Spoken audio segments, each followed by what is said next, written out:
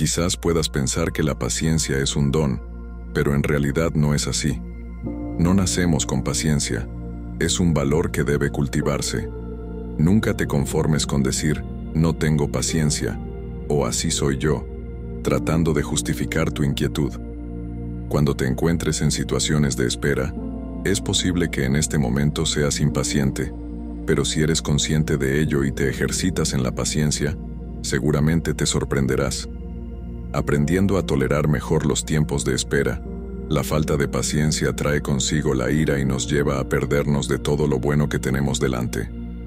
Por estar pensando demasiado en lo que vendrá, es por ello que practicar la habilidad de poder disfrutar del momento sin prisas, sin ser dependientes de la inmediatez a la que nos vemos sometidos a diario en esta sociedad moderna, es una necesidad urgente. Si queremos crecer, si queremos pasar por el noviciado exitosamente, debemos ejercitar la paciencia. No tener paciencia acaba convirtiéndose en costumbre, es decir, te acabas acostumbrando a reaccionar de manera acelerada y a no gestionar adecuadamente las esperas. Por eso, en este video te traemos una historia que te enseñará a controlar el enojo y cosechar los frutos de la paciencia. Comencemos. Durante la edad de oro del Imperio Maurya, un monasterio se alzaba en silencio en lo profundo de las montañas. El monasterio era ampliamente conocido por su atmósfera tranquila y el aura pacífica que lo rodeaba. Los monjes que vivían en este monasterio practicaban el arte de la ecuanimidad y la tranquilidad y poseían un nivel de paz que la mayoría de la gente no puede comprender. Este monasterio estaba habitado por jóvenes novicios, y uno en especial era relativamente nuevo en el camino espiritual. Aunque estaba entusiasmado con su viaje espiritual, luchó con una de sus tendencias naturales, la ira. Se molestaba fácilmente por pequeñas cosas y perdía su calma. Otros monjes observaban desde lejos su lucha con mucha empatía, ya que estaban conscientes de que cada uno tenía sus propios defectos, los cuales estaban trabajando para poder superarlos.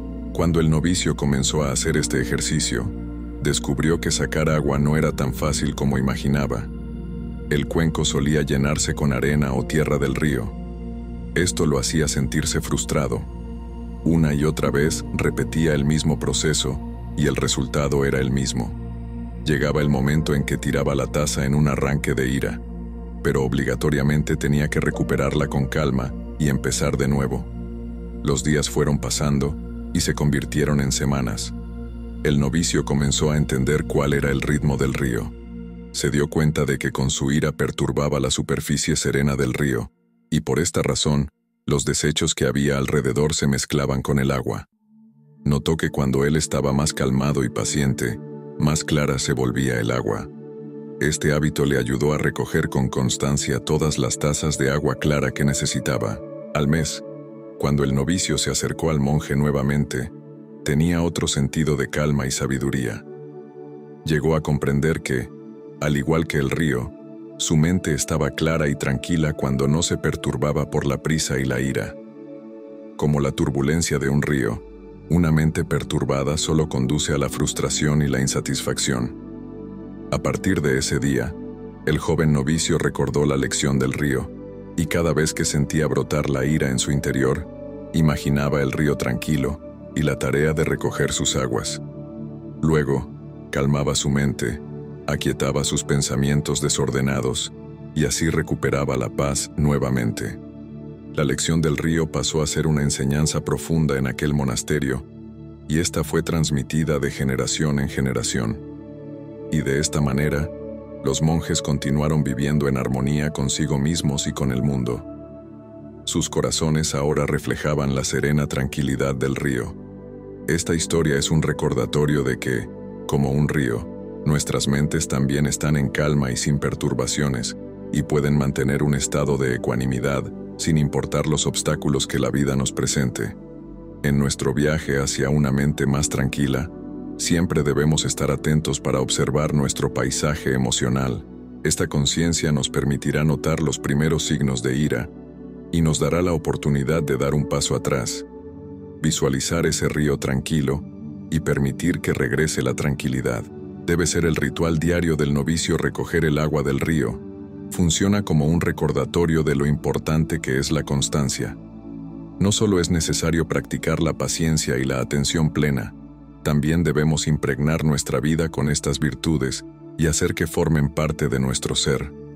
Pero tal vez la lección más profunda de nuestra historia es que nuestras mentes son naturalmente claras y tranquilas, como el flujo del río, y que la confusión, como olas de ira, es temporal.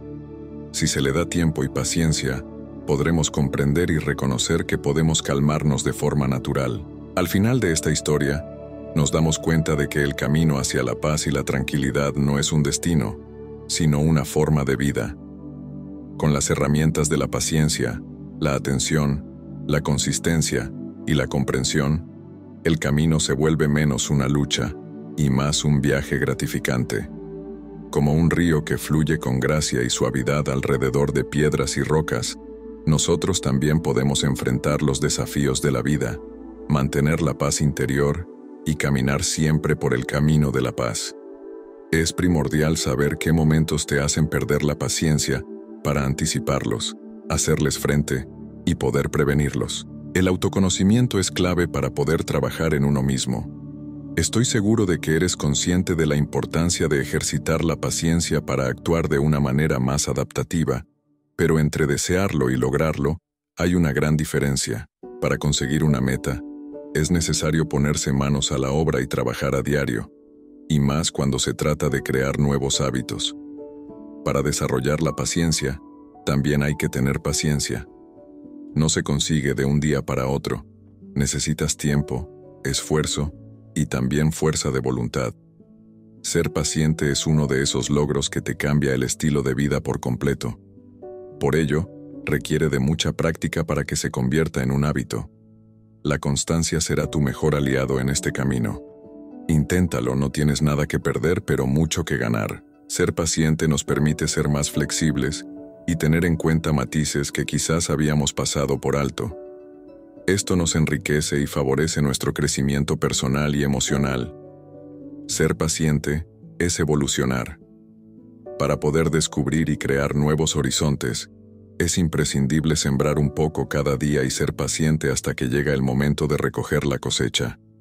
Y es que ya lo dice el refrán, la paciencia es la madre de todas las ciencias. Por el momento, me despido. Si disfrutaste este vídeo, te agradecería mucho si le das un me gusta, te suscribes si aún no lo has hecho, dejas tus comentarios y además, nos ayudas a compartir este contenido con todos tus amigos. Esperamos verte en nuestro próximo video.